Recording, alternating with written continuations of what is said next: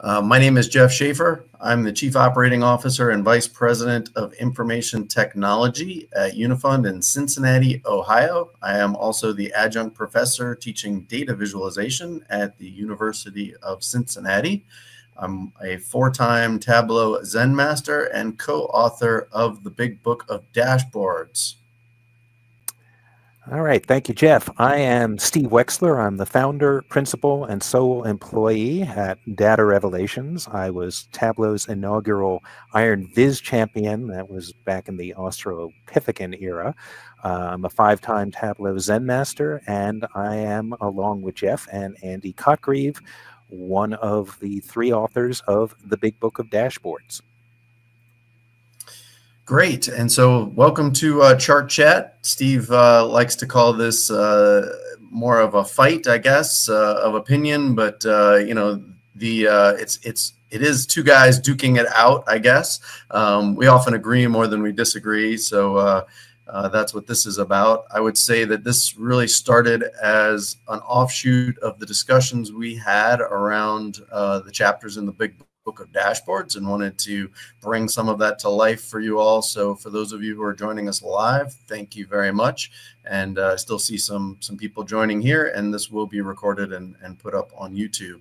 Um, I guess rather than two guys duking it out, it's a little bit more like uh, the the uh, this slide, which is uh, two older dogs arguing over a donut chart i think. I think every you know every year we're getting older here and um, we have a lot of experience at this and, and a lot of bad donut charts i guess to talk about. So i, I like this slide. I think this one this one probably uh, discusses a little bit more about what chart chat is all about. So with that let's kick it off and uh, our agenda today is to recap uh, our discussion last time in chart chat around critique in data visualization. And uh, we had a little bit of uh, critique of our critique. So we were going to discuss that today. Um, and then our main topics for today is thoughts on the Tableau Viz of the day, specifically how those are picked and some choices they make, and how to avoid having the tool dictate the visualization.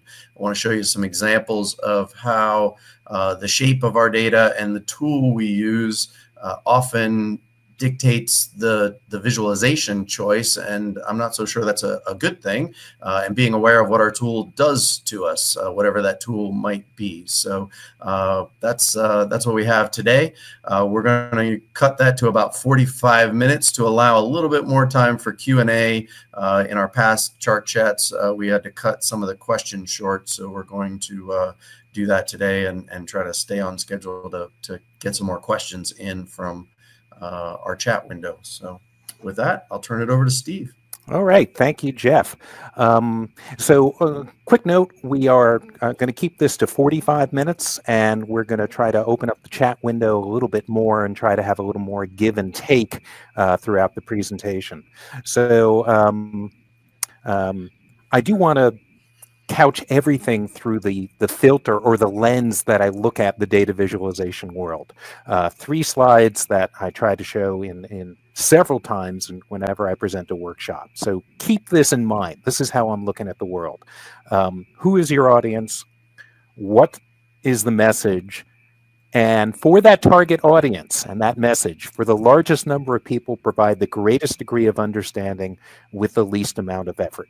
That that that's how I look at at what I'm supposed to be doing in the data visualization space. And with that in mind, I want to look at uh, some criticism of our critique of data visualization criticism. And I heard from my good friend and colleague, Ben Jones. If you don't know who Ben Jones is and you're in the Tableau community, uh, you have no idea the indebtedness that you have to this guy. I think he joined Tableau in around 2013, and for a long time, he was one of the chief stewards of Tableau Public, uh, and did an incredible job of um, creating this this amazing community uh, around Tableau Public. And uh, I think December of last year, he went out on his own and founded a new company called Data Literacy, helping people learn the language of data. And he's doing extremely important work, and you should check it out. In any case, um, he contacted me after the last uh, chart chat, and he just felt that Jeff and I kind of squandered an opportunity uh, to dig in on some stuff. Now, I'm, I'm not going to get into a, a, blog post or an article that Ben had written, and Ben and I disagree about whether it's okay to critique in um, in certain situations. I think, and Ben is not here to speak for himself, so at some point we should probably have him on here. Um, but if I were to, uh, what what I heard was, how do you deliver that message? And um, people can be brutal and not realize that they're being brutal. Instead of nurturing talent, we can sometimes alienate people. So um, it got me thinking about this about, well, how do I critique other people's work? And, and am I doing this in a, in a nurturing way that's going to bring out the best in them, or, or am I uh, am I being a jerk? And and, I, and if I were to say, you know, if, if, I were to um, distill Ben's recommendation, it was, yeah, it's okay to critique, just don't be an an asshole about it. So it uh, made me think about, well, how do I critique a, someone who's new to this, an expert, and and and suppose a data visualization is being presented by a news organization. You know, then I think of a news organization, and I think of of the incredible fodder we have in our um, in our workshops from from Fox News. And look, you publish something like this, um, you're you're going to get reamed out for for intentionally trying to mislead people as opposed to an innocent mistake and things like that. Um, this is this is a classic case of do not cut the axis off on a bar chart because you can't help but think that the bar on the right is, you know, uh, you know, five six times bigger than the bar that's on the left. But it did have me thinking about the way I've delivered criticism in the past and. I got to tell you, I, I, find this chart chat is an opportunity for me to uh, confess to a lot of my sins. Um, uh, I think our first chart chat, I was kind of bummed out at at at the way I use color in one of the dashboards that's in the book, and wish I had done it a little bit differently. So I use chart chat as an opportunity to say, "Hey, if I were doing this differently, um, here's how I would do it now." So as I'm thinking about, well, how do I deliver this this criticism? Uh, two, three things came to mind. Uh, one was got to present at the Washington D.C. Tableau user group um, two years ago in June. Uh, Brittany Fong and, and, and, and Cesar do an incredible job um, running this uh, running this group. It's a great Tableau user group. At the end of my presentation, a lot of people came up and you know wanted to chat about stuff, and and one young guy. I'm going to say mid to late 20s. He, he kind of almost accosted me. He had an open laptop and said, "Please look at this," and um, I was a little taken aback by it. And and he showed me something. And this guy had great uh, design chops, by the way, and um, I didn't stop and pause and talk about all of the good things that were in the Viz, and there were a lot of them. I immediately started, you know, saying everything that was wrong with it, and um, and I think the guy kind of left a little bit deflated.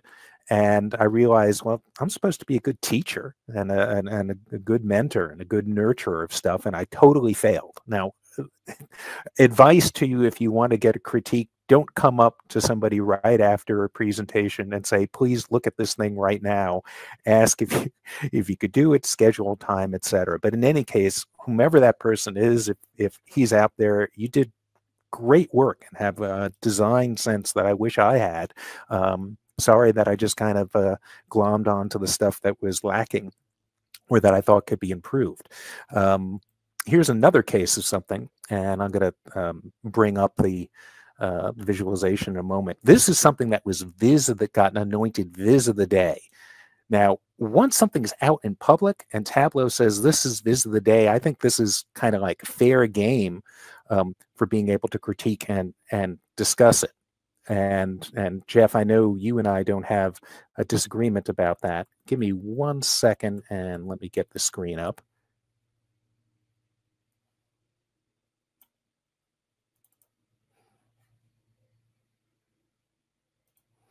Jeff, I assume you can see this at this point? Yeah. Um, so uh, this is something that uh, Emily Le Coz had done for the Daytona Beach News Journal. And I saw, ooh, news organization. So yeah, I'm really going to go out after this.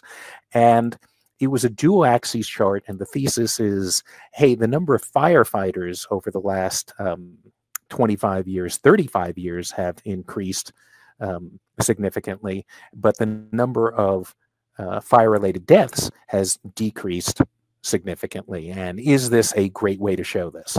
And um, I took issue with it. I talked about a dual axes chart, um, uh, some of the iconography that was in there. Uh, should the axes start where the axes was starting? Different approaches. This uh, bunch of people had been discussing this on Twitter. Uh, uh, Jorge Camões uh, from Lisbon, Portugal, had said maybe a connected scatter plot.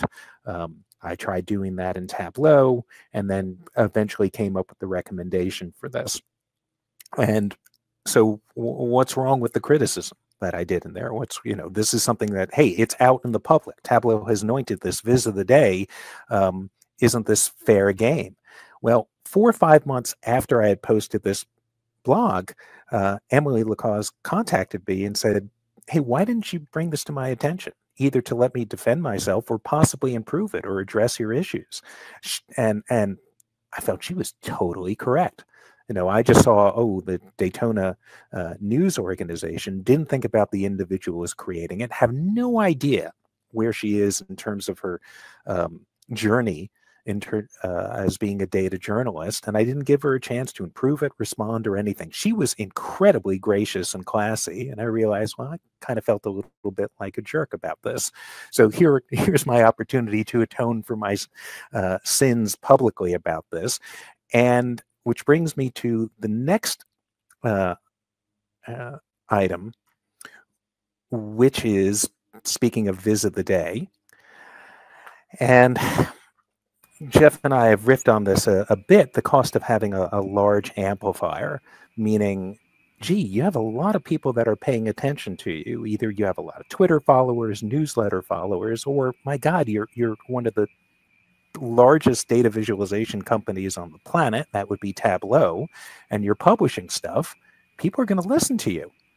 And um, my concerns and problems with uh, a viz of the day and a profile that Tableau did of the very deserving Samo Joel. And I don't know if I'm pronouncing your last name correctly. My apologies if I've mangled it. But this guy does great work. Um, is data visualization and, and business analyst at, at Uber and is highly deserving of people following him. And I gave him a heads up that I was going to be talking about this stuff. Okay. And he said, hey, by all means, go for it. And um, let me show you the viz of the day. Let me um, uh, uh, try to find that here, or the whole um, uh, example. So here was the Tableau public team said, wow, this guy's doing some really cool work, and we want to profile this. Now, this was a Makeover Monday exercise, um, and where uh, there was a fascinating article, I think almost certain it was in the New York Times, about uh, uh, Stephen Curry's penchant for popcorn. And he just loves popcorn and he's rated popcorn by butter, presentation, crunchiness, saltiness, etc. in um, at, at, the 24 uh, NBA arenas. And uh, Samo came up with this cool. I originally thought it was a radar chart, and Jeff said, no, it's not really a radar, spider chart. It's more like a coxcomb, but it's kind of this unique uh, pentagon that's different. The rings in it or the depth of it is uh, how good the score is on these uh, five criteria. And if I click here, I can see you know, the the hey the da- Dallas Mavericks have the best popcorn because you know it gets a five for butter and a five for presentation, but only a four for crunchiness. The Brooklyn Nets you know, it's not far from where I live. You know, they've got um, three fives and two fours, and you can compare all these things and scroll down. You have this pretty cool image, and down at the bottom is something that says um, how to read this chart. Well, my concern about this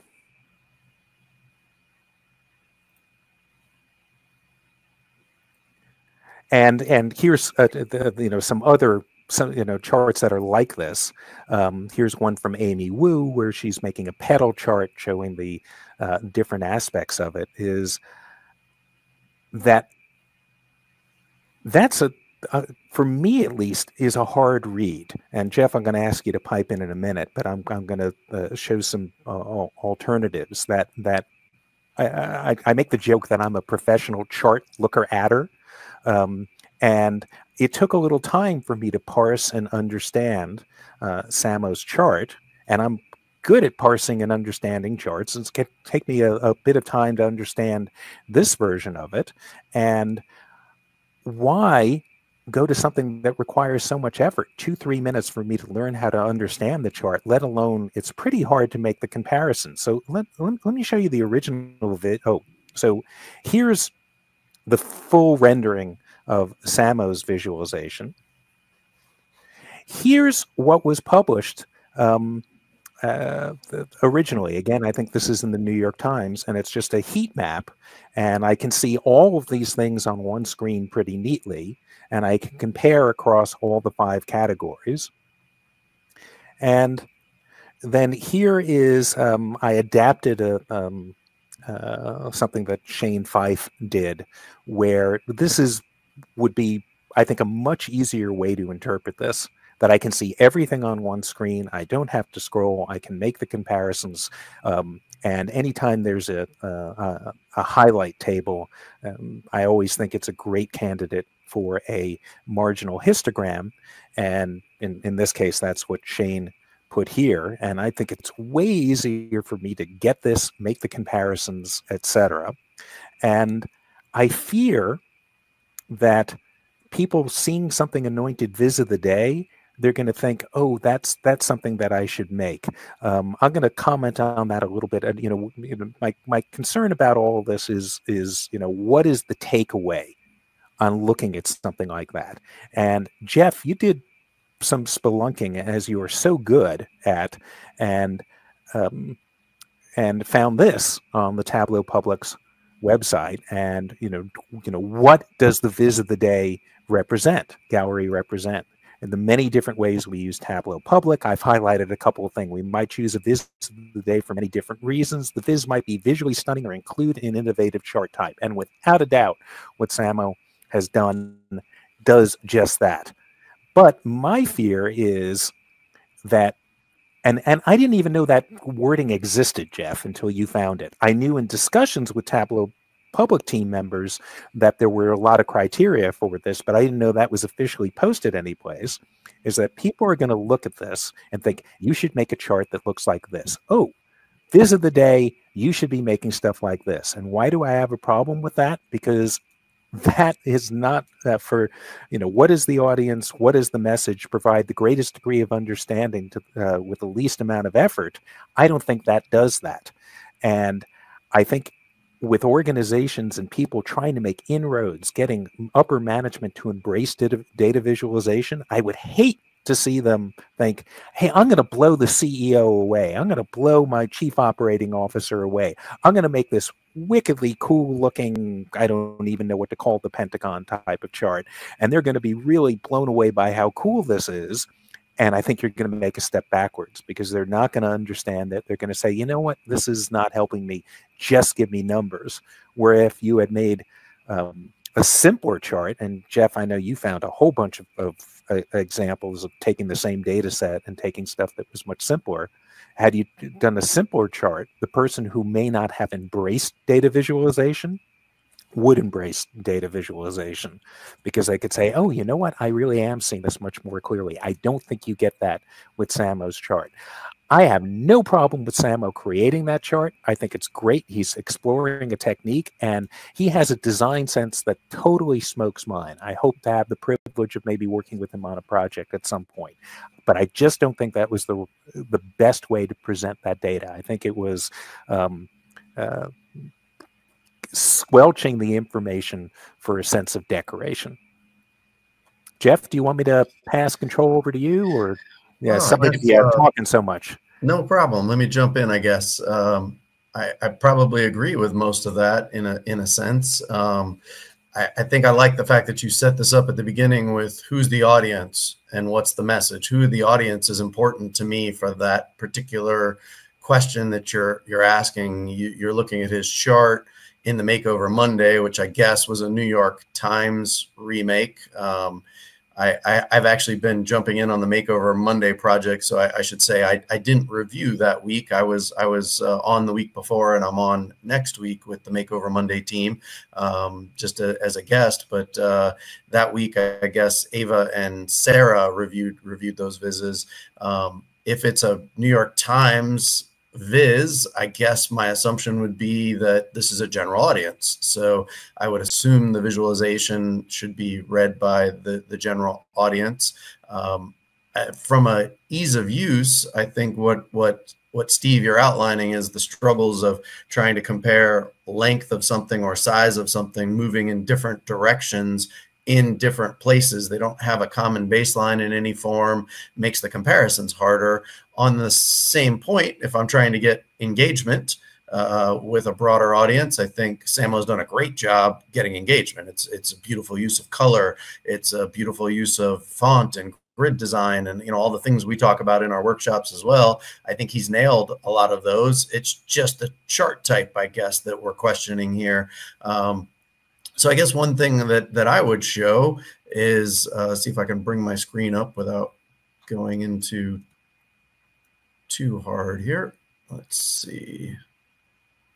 By the way, as you're doing that, Jeff, I'm going to say that, you know that that someone with Samo's talent, he probably you know he could do both.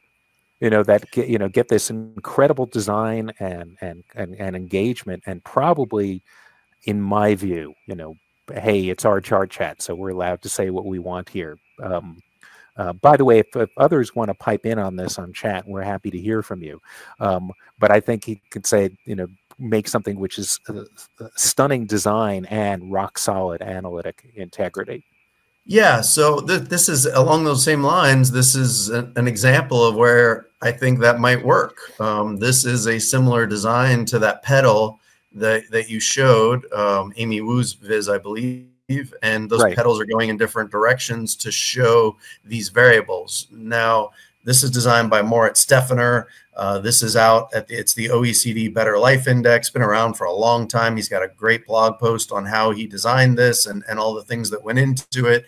And uh, what I what I want to point out here is, and you can do this in Tableau. Uh, there's a Viz in tooltip. Uh, you hover over any of this, and you can get a precise comparison to see that community, in this case, that's red, is bigger than jobs in blue um, or the orange one and and the uh, dark gray. They're the same size. Um, you know something across the petal is going to be really hard trying to compare the the, the blue for example uh, to the purple or to the orange to the red. Um, now this design also the, the petal size it's not just the length of the petal like you know it's kind of the size of the petal because you can kind of see the blue the blue petals you know just a little little thinner, I guess, than the red petal. Um, but as you move around, you can kind of see those exact comparisons that that may be difficult, especially with the smaller smaller petals are going to be really really hard to see in this instance um, you know the orange petal or the green petals that are that are so small at the bottom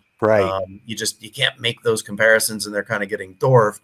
Um, and this is interactive too. So if housing means more to you and uh, and community means more to you and uh, health means more to you you can you can interact with this viz and the petals rearrange and they resize and then you can go have a look into that data. So I think what Moritz did really well here is gave an accommodation, you know, similar to what we do with, you know, a, a colorblind friendly viz um, or something like uh, uh, size. You know, you can make an accommodation for where size, we're not really good at judging the size of something. This is a really good accommodation in this instance where if you need a precise comparison, you can get it uh, but you don't lose the visual, uh, I guess, attractiveness, engagement um, that I think you get from a viz like this. Hey, Jeff, um, really great uh, uh, explanation of what's going on here. The, the two things, and then we've got comments from Chris Love and Lynn that I want to pipe uh, amplify. But one thing here also is I the overall Better Life Index. I can easily compare them by height yeah. because there's a common baseline in the overall height of this thing versus and and I've kind of slated this to be our end discussion beginning of the next thing. I have a problem with small multiples. Um, if you look at um, Samo's uh, example, how do I compare the thing in the upper left-hand corner with that thing in the bottom right-hand corner easily? And we'll we'll get into a discussion of this a little bit later. So that that that and and sometimes look, I've got a hundred things to compare. I can't just make it this sprawling thing that goes from top to bottom. Maybe I need to make it a ten by ten type of thing, like Chris Love did this uh, um, this population pyramid alternative of all these different countries and he did it as a small multiples and maybe oh i want to now compare this country with this other country and i'll select those two and then maybe i'll have a, a better side by side comparison. So part part of what i like so much about this example here is because it isn't small multiples and there's a common baseline i can get a sense of just how much taller luxembourg um, uh, is the Mexico. Um, Chris has a couple of comments, if I might interject. Isn't this a problem of picking a chart isolated from its audience? Samo didn't specify his audience and sending it to a wide audience on Viz of the Day. I'd love Viz of the Day and visits in general to state their intended audience so we can understand the viewpoint for which they were created. That's a really good point. And Jeff, I think you mentioned that to me yesterday, wishing that when Viz of the Day indicate why it was chosen as Viz of the Day. So, oh, this is not a best practice for general business use. Here's why we're including it. And um, uh, and Lynn is saying, I think the uh, OECD viz is impossible to decipher, and it's exactly the problem with encouraging the viz of the day to represent charts that we sh um, should mimic and, uh, in, instead of them being seen as art as they truly are. Um, Lynn, now that you know Jeff has kind of explained this thing and and how to interpret it, it's it's just a question of um, how much explanation do you have in it. So I think this works both as art, and I think it also has a, a fair amount of uh, analytic integrity in it as well. I'm not suggesting that Samo doesn't have analytic integrity. Let me change that. has great analytic integrity. It's playing into stuff that humans do well, comparing the, comparing the length of things from a common baseline, and that's happening uh, in in the um, uh, quality of life index, and it's hard, much harder to do in Samo's viz. Yeah, I, I guess I, I, agree with Lynn that the OECD to make precise comparisons, it is it is difficult. It's just as difficult as Amy's viz or Samo's viz. I, I guess the thing I was pointing out in that particular one uh, and one that you pointed out, it, it is set up as a bar chart. So you do get a precise comparison of the overall countries. And as you saw, you could rank them. Um, but what I really liked about that was the tooltip because, you know, it was to me, it was as if Moritz saying, you know, hey, I know you're going to have a hard time reading this. I'm going to give you a tooltip that you can hover over and, you know, you can make that precise comparison between each petal if you if you really need to. Um, and if that were a, a different design, I, I, don't know, you know, for their website, this is a, a, general audience. It was a graphic that they used even there. If you look up here on the little favicon on their, on the browser uh, of the OECD, let me, let me not, yeah, share my, yeah. my screen again and, and, and show you that. Um, I don't know if you'll be able to see it, but let me, it's so small. Um, but if I can share my entire screen here. There's a little favicon up by the words OECD Better Life Index and you know even their their their logo. I mean they've they've really adapted this into an artful design uh, of what they're what they're trying to get at. So clearly there's an art to this. Um, you know that's that's the whole purpose of this this website, I guess, um, is to is to get that engagement. Um, so I think he did. You know I think he did a great job on that. So, Jeff, as we transition to our next item, which is not letting the tool dictate um, uh, the the the visualization, I just want to step back for a second, and, and, I don't want this to come out as, "Hey, I'm sniping at Tableau Public." Um, anyone who's followed my blog knows I'm I'm know, think a huge reason for the success in the of Tableau and and progress in the data visualization community is because of this amazing free platform. My concerns are around how some people may interpret Viz of the day and that oh I was all set to create this bar chart, but you know I think I'm going to do this other thing instead and uh, possibly squandering an opportunity to to get get clarity in an organization because they got kind of excited about uh, a novel uh, chart type as in the chart type that's here. So I hope we see a little more maybe in Tableau Public with why was this chosen and uh, what the takeaway should be from it. And I'm curious if any any of the participants we have here uh, joining us today have any thoughts on this as well. I think tags would work really well. Tagging something, you know, innovative chart type or or a description of of maybe more in the mindset of why they picked it. Uh, this is a new author. You know, maybe it's the first Tableau public viz that they published. You know, we've seen some visualizations. You you, you know, one day you'll see this uh, uh, this mathematically curvy, you know, crazy chart type, and the next day you'll see something very basic uh, and and very simple to do. And so, understanding maybe the mindset of why why it was picked, I think would would maybe help the community in that case. Yeah, there there were probably six or seven. By the way, this particular data set, there were a, a, a, bunch of things that I thought, you know, I showed the one from Shane Five or the slightly modified one from Shane, but there were a bunch that just use um, bars, use dots, um, along a common baseline. And, and, for me, it was easier for me to compare the San Antonio Spurs with the Dallas Mavericks, that that type of thing. And gee, why I'm probably not going to go out of my way to order popcorn um, uh, if I see a Cleveland Cavaliers game in Cleveland. Um, so. Uh, with that, Jeff, any other thoughts, or shall we move to our, our next item? Uh, I think we can move to the the next one. Samo actually uh, responded with some uh, words on his viz. Oh, by the way, if the goal of Viz of the Day is to start a conversation, he certainly succeeded. um, um, uh, Sam, uh, so Samo says, I agree with most of Steve's feedback regarding simplicity and readability. Regarding my viz, I wanted to make something different than efficient heat map and challenge myself totally cool and i get that in my viz it's impossible to compare the first and the last and the viz might be best in print version where you can get the whole picture i love that viz as a poster you know it'd be a beautiful thing to have up and and, and or it's in the poster that's in the lobby of of um, you know uh, some the Dallas Mavericks. 500 company of the Dallas. Well, yes, definitely the Dallas Mavericks or maybe the Brooklyn Nets. Not so much some of the teams that are down at the bottom. Um, so Samo, thanks for joining us today, and thanks for for for for piping in on this stuff. And I'm I'm looking forward to seeing more great stuff from you. Yeah, that's going to get to the heart of where Steve and I are going to disagree on small multiples. I think you know Samo brings up a point where you know if something's in print or something in static form, uh, that's where I think you know small multiples can uh, can can do really well. So great great point.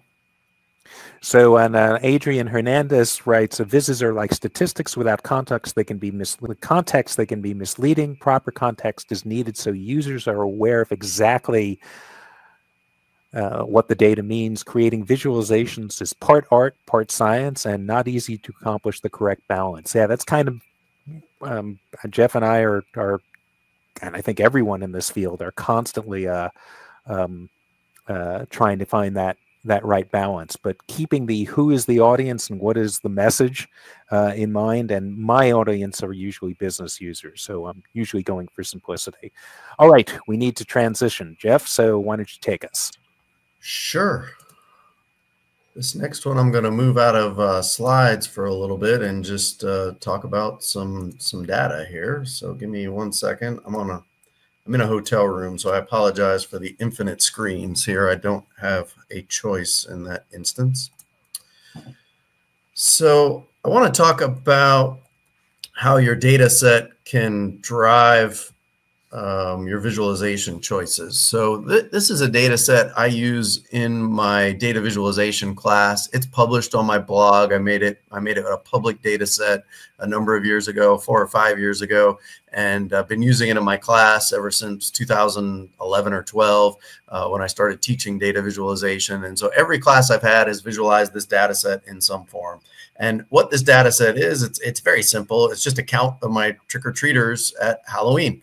Uh, on October 31st. Uh, every year it's October 31st in this data set, and I've tracked it since 2008 all the way. I have updated data all the way to, to 2018.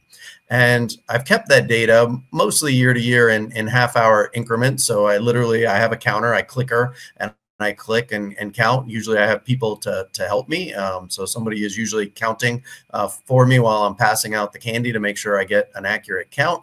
And I've been tracking this data ever since. And a lot of people have done some fun things with this, this data set. Um, now these are cumulative numbers. So on the right hand side, you see a total amount of trick-or-treaters. And so yes, I've had a high of 869 trick-or-treaters at, at, come to my house.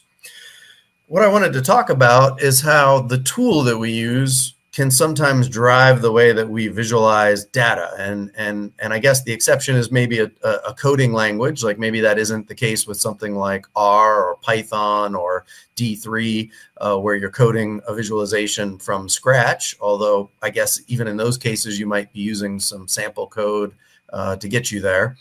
This is more about the tool though. Um, tools, visualization tools. Let's start with something like Excel. Uh, when you plot this into Excel, you get a lot of charts that start to look the same. So in the uh, seven years or whatever I've been teaching this class, um, when I first started this assignment, the very first assignment, pretty much everybody would do it in Excel.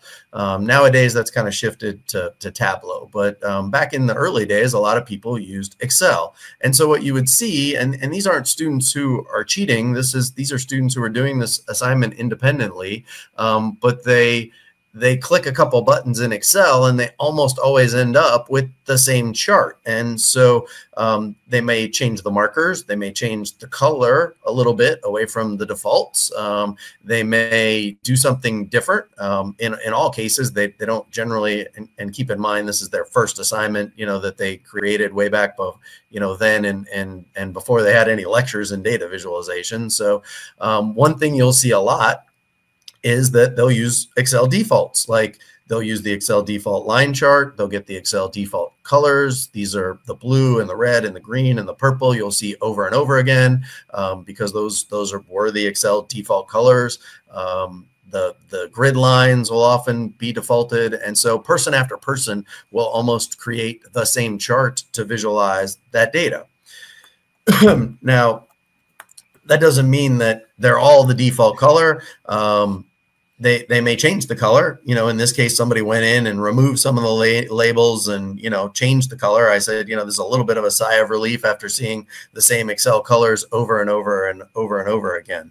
Um, so how did how does this happen? I guess if I if I go over to Excel, this is the data. Excel likes crosstabs, and you know this is a crosstab of you know year versus versus time now, one thing that's interesting is is to understand about your tool is that just by having the word year here, I will confuse Excel. It won't understand that this is a cross tab. It'll actually think that that column A is a column of data labeled year, where column B is a, a data labeled with you know 6 6 p.m. And so if I highlight this data and go to insert and just pick a line chart, just any line chart, um, you'll see the year comes across as a blue flat line as as a piece of data. It just it just happens, you know, automatically um, just just by the fact that that is there. If I took year out of my data here and had a true cross tab and did the exact same thing in Excel, well, Excel is going to do something different. It's going to it's going to treat it differently. It's not going to have year as uh, as a series in this case. It's going to have year across the x-axis. Now, here's another interesting thing because I didn't put it in a date format, because it doesn't recognize that as a date, it's just going in, in order of the data. My, my time series is going backwards. And so it's actually going from 2017 to 2008 just simply because of the way my data is ordered. So another thing that just Excel is doing automatically to me. Now, if I flip this around and uh, just go to the select data option, I'm just going to flip the axis here, the, the rows and columns, just like I would in, in Tableau. Um, and, and there's that cumulative chart that everybody creates. And so and you can even see some of the Excel default colors. I mean, they're a little different now in newer versions of Excel, but you still see the first one is blue, red, green, purple. The first series being 17 and then 16 and 15 and 14 going backwards again. Um, it's using those default colors that Excel just likes to pick and, and likes to use. Now, jumping over to Tableau, if I have that same data, Tableau is going to recognize my date or date time fields as, as a date field. And uh, when I put that on the columns and I put the count on the rows, uh, I'm going to get a line chart. Uh, if I use my automatic marks over here, Tableau is going to try to figure out what chart type I should use.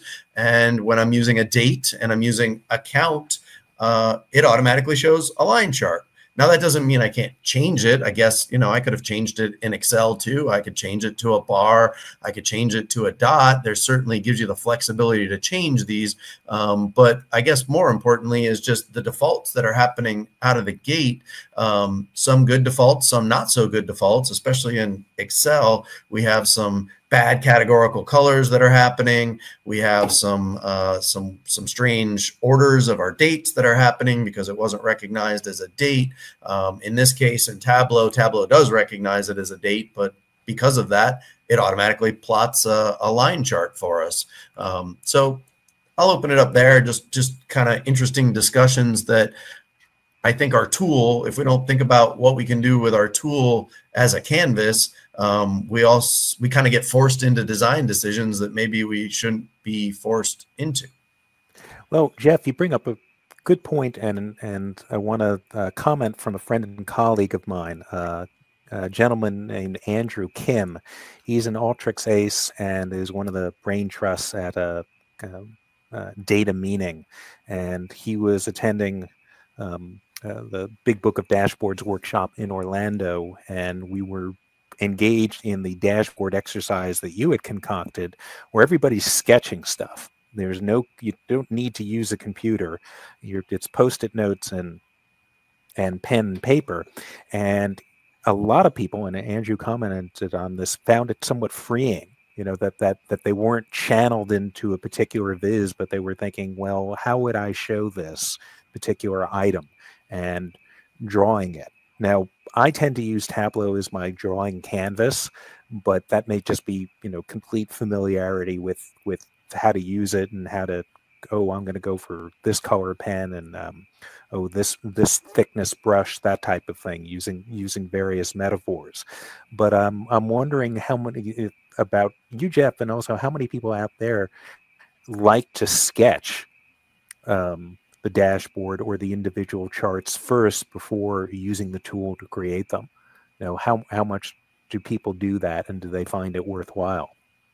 I, I've done both. I'll jump in and, and see if anybody comments on that. But uh, I, I do find that I, I do sketch. Um, that came for me. I, I would say I started doing that more out of the Dear Data project when I was doing 52 weeks of postcards back and forth with Andy Kriebel and uh, you know, you have this small postcard, you have this really small form factor, you have a limited use of color, you know, talk about font. I mean, font is your handwriting, right? So, you know, you have, you're, you're just limited in so many things, but yet it's so freeing because you have this blank piece of paper in front of you. So I think it, it, it created um, a, a, better flexibility for my tool where I now look at Tableau as a canvas rather than a uh, insert chart tool like, like Excel is really built for. Um, now, on the flip side, what I find great about a tool like Tableau, and again, I'm a, I'm a Tableau guy, um, exploratory data analysis, right? Being able to pump in data and find trends quickly. You're not going to do that sketching, right? You're not going to, you get, you get design ideas from sketching, but you'll not find patterns or trends or stories in your data from just sitting there sketching on a piece of paper. So for me, bringing the data in, moving the data, calculating the data, you know, doing, doing some, um, sort of inspecting of it. Uh, you can kind of massage and tease stories out of the data, and a, and a tool like Tableau that's that's what that's brilliant for, right? You can you can move things around really really quickly and see all kinds of things in the data. Yeah, we can get into a discussion of Tableau's algorithms and the uh, um, the automatic uh, mark types and uh, people think, gosh, I've got all these bar charts. This is boring. Let me click the show me button and experiment with stuff and see what it comes up with. And and people not really recognizing the show me button is just a a, a, a pill, automated pill, push it around different parts and then change the mark type uh, type of thing. But um, we've got like, oh, we're right at 11:45 at this time, which is when we wanted to end. If there are people who have any uh, questions or comments on this, just curious, how many people sketch freehand? If you're uh, able to type into chat and let us know, that would be great. Um, and uh, thoughts for next time around, Jeff? You, you and I maybe will have a discussion of small multiples uh, Samo Drole and uh, Michael Perillo are saying they definitely sketch. Hey, Mike, great to see you. Um, Chris, uh, uh, uh Marianne Winifred. So it's it's it's. I'm now a little more open to this. I think, by the way, you know, one of my favorite data visualization specialists is Kelly Martin, um, and she says she never sketches. She just kind of uses Tableau as as her uh, um, as her canvas. But I've started to sketch more. Um, interesting. We're getting more sketchers than not, but we will look into. There we go, man. Sketching a Sankey. How about that? Whoa! Or, hey, um, we had uh, I had somebody render a ridiculously accurate map of the United States. Um, uh, as a sketch, and and and and just went, oh my god, you have wicked, wicked uh, capabilities and she confessed and said well actually she just traced it from the book. But uh, uh um, hey uh, i do want to leave with one thing um, just this um, uh, um, cool little wow i never would have thought of that. And jeff maybe it's occurred to you and others but these are things that people have done to try to get people to embrace change in their organization. And we were talking about dashboards with dark backgrounds in in in in the workshop. Um, and in fact, let me share my screen because I'll talk about uh, um, um, where people can go for more resources and the like. Um, um, which we will get to in a minute. But the um, while you're pulling that up, I, I guess one thought on sketching I have is when when you're collaborating. Um, I, I don't find Tableau to be a great tool for collaborating. Um, I know they're working on things to be able to do that, but I, I, I encounter that as a as a weakness, I guess, and not just Tableau. I mean, Excel's not very good at it either. But there, there's not a lot of online platforms where you know you could build a viz together, right? Uh, right. So you have to pass workbooks back and forth or, or something like that. Um, so WebEx, you know, you can kind of get people together, but then one person is driving. I brought everybody in a conference room and, you know, one person is then driving on the computer and the rest are kind of talking um, where sketching can, can really open up collaboration. So whiteboard sketching, uh, we have yeah. giant whiteboards in, in the analytics area outside my office. And, and we have, you know, uh, paper, you know, sketching in a group on a conference table. Those, those certainly would help with collaborating. So it might be another another way to use sketching as a tool. So th th this is I got derailed for a moment. So here was this uh, there was a discussion of dark background dashboards, and I won't get into, but this person they started adopting a dark background dashboard because not because it looked cooler, better contrast. Um, the culture. It was to get people to stop printing dashboards and start interacting with them live. That's why they started doing the dark background dashboards. If they because because accounting was going to ream everybody out for printing these things out and wasting all this toner and all this ink, and that's why they did it. And that was the first I had heard of an organization making that effort and saying, okay, here's how we're going to wean people from printing these things out. So I wanted to share that as a little, oh, that's a pretty clever manipulation of humans um, uh, uh, out there. So, um, hey, resources and workshops 14 of the dashboards featured in the Big Book of Dashboards are at uh, bigbookofdashboards.com. All the recordings of Chart Chat can be found there. there uh, Jeff's going to post these things to YouTube. And we have some public workshops coming up in September and October, one in Washington, D.C., and Atlanta. I hope some of you will be able to join us there. And uh, Jeff, I think we're looking at June 11th for the next chart chat. June 11th. All right, we'll have a link for that shortly. Hey, folks, for joining us and your and contributing in chat. Um, thank you much. Uh, you, uh, I think made this a lively and more enjoyable chart chat, at least for me. And isn't that what counts? Somebody asked when you're coming back to Orlando, Florida.